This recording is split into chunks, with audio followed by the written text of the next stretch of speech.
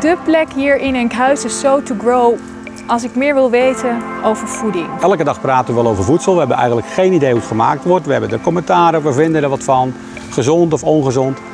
Hier is de bakermat van het voedsel. Hier weet men hoe het gemaakt wordt, kan men er uitleg over geven. Hoe wordt een bloemkool wit, hoe wordt die geel, hoe ontstaat een broccoli. Je kan het hier vragen, je kan het hier zien, je kan het zelfs oefenen. Dus een perfecte plek om daarmee bezig te gaan. Voor Bayer is dat een belangrijke link richting de consument? Absoluut. En daarom zijn we ook sponsor geworden van dit museum. Wij vinden het belangrijk dat mensen goed begrijpen voedsel gemaakt wordt. Dat we angst wegnemen. Uiteindelijk is het een heel gezond product, maar altijd gemaakt door mensenhanden. En dat kunnen ze hier binnen als geen ander uitleggen.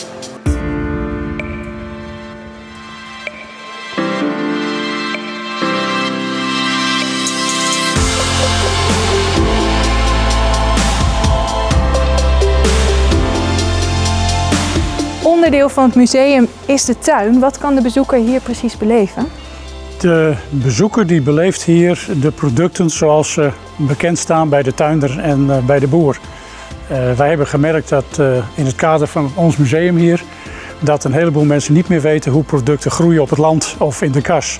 En we proberen hier duidelijk te maken van kijk, zo zien ze eruit en niet zoals je koopt bij de supermarkt, verpakt en gesneden en gewassen in een plastic zak. In het museum vind je heel sterk terug van hoe het ontstaan is en uh, waarmee het ontstaan is. Dus ik noem het oude voorwerpen die, die toen gebruikt werden, die in stand gebleven zijn. Maar we laten ook de moderne technieken zien. We hebben ook een laboratorium ingericht waar je kunt zien hoe, hoe het tot stand komt. En daar kunnen met name kinderen, maar laten de volwassenen niet vergeten, want die, die, die zijn ook niet weg te slaan uit het laboratorium. Maar die kunnen zien wat, wat er gebeurt als je de, de genetische eigenschappen van een product verandert. Wat er dan met dat product gebeurt.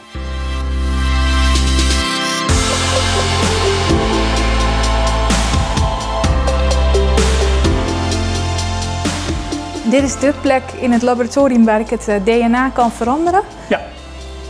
Laten we het uitgaan Door de proberen. stokjes erin te stoppen, dat is dus een verandering van de DNA-structuur. En je ziet dan op het scherm uh, wat dat teweeg brengt. Dus uh, hij wordt uh, rood met spikkels, hij wordt wat langwerpig, hij wordt vierkant, hij wordt geel.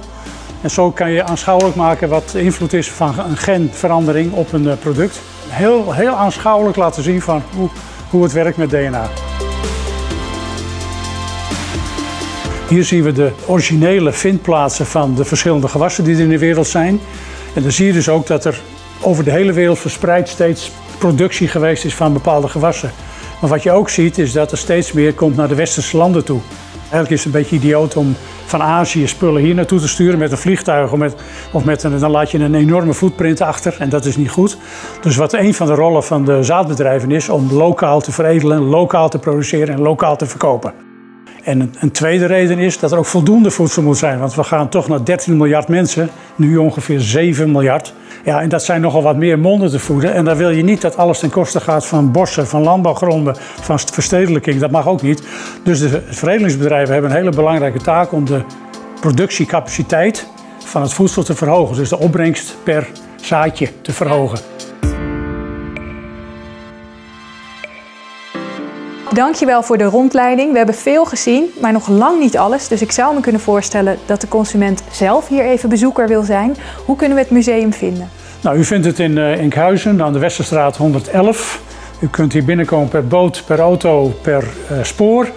En uh, iedereen is van harte welkom om te kijken wat wij hier laten zien over de toekomst van ons voedsel. Dat er geen angst hoeft te zijn dat je kleinkinderen en achterkleinkinderen een tekort voedsel zullen hebben.